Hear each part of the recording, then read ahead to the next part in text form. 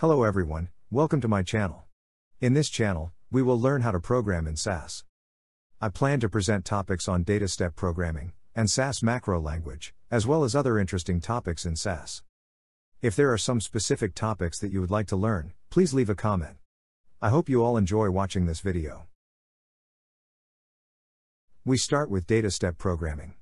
The contents of these video series on data step are based on my book, Handbook of SAS Data Step Programming.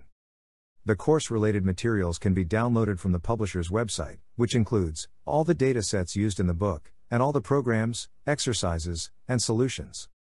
The link is provided below. The contents of Chapter 1, Introduction to SAS, are presented in three videos. In this video, we will focus on the first three sections, including understanding the SAS program and language, reading data into SAS, and creating and modifying variables. A SAS program can consist of one or more data steps and or proc steps, which can be in any sequence. In this program, we create a SAS data set by reading a text file. Then we use proc print to print the data, and use proc contents to list the descriptor portion of the data. In the end, proc freq creates a frequency table for the variable preg. The building blocks of the data and proc steps are statements. A statement is made up of a series of elements, such as names, operators, operands, etc. Each statement must end with a semicolon. The statements in the data step serve as an instruction to read data, create a new data set, or perform data manipulation. Statements in the proc step are used to analyze data, or create reports. In addition to statements, there are other types of SAS language elements, such as data set options, expressions, formats, and informats. These language elements are mostly used within a statement, and will be introduced when they are used within a certain SAS statement throughout the course. The starting point for most projects is reading data into the SAS system. The most frequently used input file formats are SAS datasets, raw text files, and Excel spreadsheets. A SAS data set is often created by reading, extracting, or combining data from different types of files. Once a SAS dataset is created, we tend to save it as a permanent file. Not only is rereading a SAS dataset simple, but it is easier to manage than other types of file formats. A SAS data file contains data and the descriptor information. In SAS, there are two types of variables character and numeric. Character variables can contain alphanumeric values, or special characters. The missing values are presented as blanks. Numeric variables can contain floating point numbers. Periods are used to represent missing numeric values.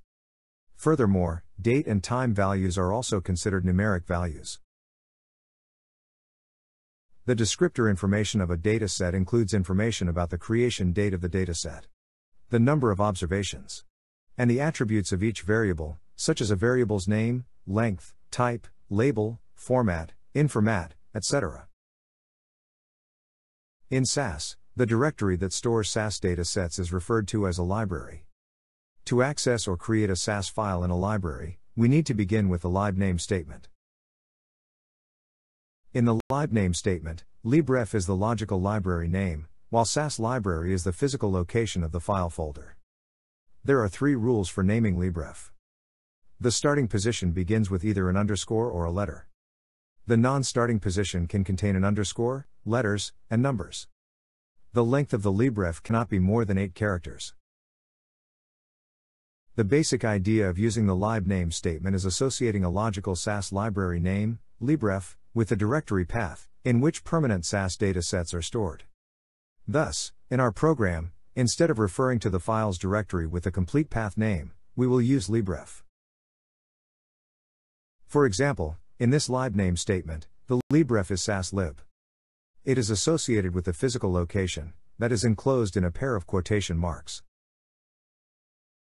Libname is a global statement. A global statement can be placed outside the data, or proc steps. Being global in this situation means that the name of the library, libref, is only in effect until you change it, cancel it, or terminate your current SAS session. The contents of the library always exist, unless you delete them. To access the data set in a permanent library, we need to use a two level name. The first component of the two level name is the library name, and the second component is the name of the SAS dataset. The two names are separated by a period. The rules for naming a file name are like the rules for naming the libref, except that the number of characters in the name cannot be more than 32. A SAS dataset can be stored in either a permanent or a temporary library. The work library is a temporary library for storing temporary SAS files. It is automatically created when you start your SAS session. All files that are stored in the work library are deleted when the current session terminates. You can refer to the dataset that is stored in the work library by using either a single level name or a two level name. However, to refer to a dataset that is stored in the permanent library, you must always use a two level name. To read a SAS dataset, we need to use at least three statements. In the data statement, output dataset name is the name of the dataset that we are creating. The input dataset name in the set statement is the name of the dataset that we are reading. The run statement is used to execute the previously entered statements. This program creates two SAS datasets by reading noise dataset from the saslib library. The first data step creates a temporary dataset, noise1, that is stored in the library work. The second data step creates a permanent dataset, noise1, that is stored in the desktop library. Notice that both datasets that are being created have the same dataset names, but are stored in different libraries. This program also utilizes two types of comment statements. The comment statements in green color provide further explanation of the program. Once a program is submitted, the first thing that you should check is the SAS log, that is generated from the submitted SAS code. The SAS log often contains information about submitted programs, including warning or error messages. For example, the SAS log from program 1.1 contains the message about the number of observations that are being read from the noise dataset, the number of observations and variables in the output datasets, and data step computing times. Now, let's talk about reading the raw data file. A raw data file with fixed fields means that the values of the variables occupy the same location for all the observations. For example, the hearing text file contains variables in the fixed fields. To read a text file, we need to use the infile statement. File specification is used to specify the location of the input data. The OBS option is used to specify the first number of records to be read. This option is useful for reading a data set with many observations. For example, you can read the first few observations to verify if the data is being read correctly, before continuing to read the entire dataset. Once the file location is identified from the infile statement, we need to use the input statement to read the text file. In SAS, there are four types of input methods column, formatted, list, and named input methods. In this section, only the column input method is presented. The expansion of this topic, along with other input methods, are presented in Chapter 8. You can use the column input method to read raw data that contains variables, in a fixed field with character, or standard numeric values. The standard numeric data values include numbers, decimal points, numbers in scientific notations, and plus or minus signs. Non-standard numeric data can include date and time values, fractions, integers, real binary numbers in hexadecimal forms, and values that contain special characters, such as percent sign, dollar sign, and comma. In the input statement, variable is the name of the variable that you are creating. The naming convention for the variable is the same as the rules for naming a SAS dataset. The dollar sign is used when creating a character variable. Start column and end column are the starting and ending positions of the input values. End column is optional if the variable value only occupies one field. For example, this program reads the hearing text file by using the column input method. It starts with the data step to name an output SAS dataset, hearing. Since this is a two level name, hearing is stored in the work library. The second statement, the infile statement, identifies the location of the external text file. The input statement reads the data by using the column input method. Lastly, the run statement executes all the previous statements.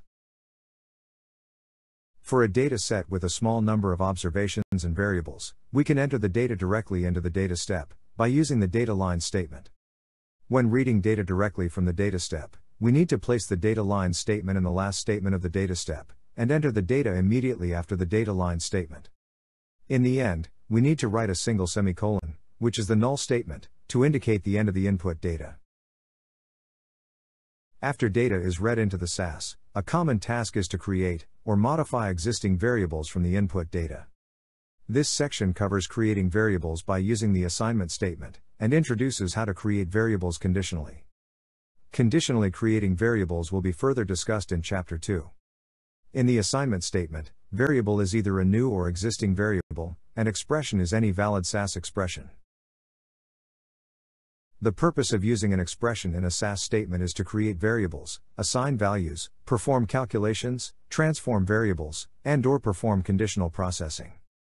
All expressions will return a result with a character, numeric, or boolean value. An expression is formed by a sequence of operands and operators. Operands are either constants or variables. Operators include symbols for arithmetic calculations, comparisons, logical operations, SAS functions, or grouping parentheses. There are three types of operators arithmetic, comparison, and logical operators. Comparison operators are often used with if then slash else statements. The use of comparison operators is for comparison or calculation purposes between two variables, constants, or expressions. If the comparison is true, the result is returned with 1, otherwise, the result is returned with 0. An expression can be categorized into simple, compound, and where expressions. A simple expression can contain no more than one operator, while a compound expression can contain more than one. We can connect one or more simple expressions with logical operators to form a compound expression. A SAS function can also be considered an operator, since a function performs a certain type of calculation, and returns a value. More details about SAS functions are discussed in Chapter 9. We can use SAS functions in data step statements, or a where expression. For example, to calculate the sum of a list of numeric variables, we can use the sum function. Program 1.4 reads five observations by using the data line statement, and creates two variables, score sum 1 and score sum 2. Score sum 1 and score sum 2 are created by using the plus operator and the sum function, respectively. When adding two or more variables, the sum function treats the missing values as zero, hence, the resulting value will not be missing.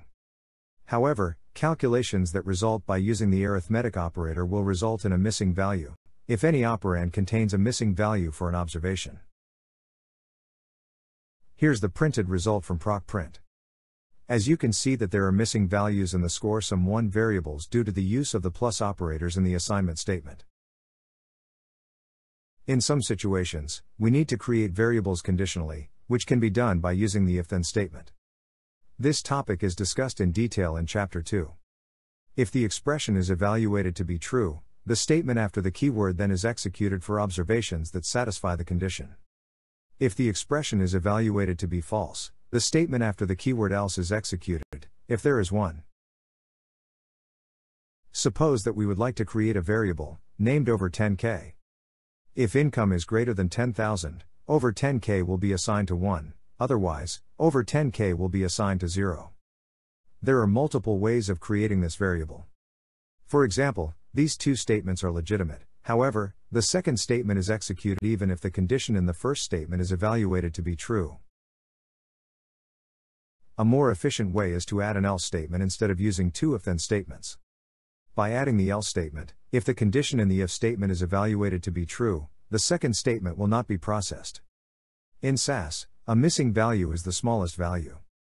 In this example, if the income variable contains any missing values, the observations with the missing values will be assigned to 0 for the over 10k variable. We will discuss how best to handle missing values when creating variables in Chapter 2. Now, let's review what we've learned so far. In this section, we've learned how to write simple SAS data step programs. The building blocks of a SAS data step are statements. One of the most common mistakes to create a statement is missing the semicolon at the end of the statement. We also learned how to create a SAS data set by either reading in a raw data set or a SAS data set. To read a raw data set, we need to use infile and input statement in the data step.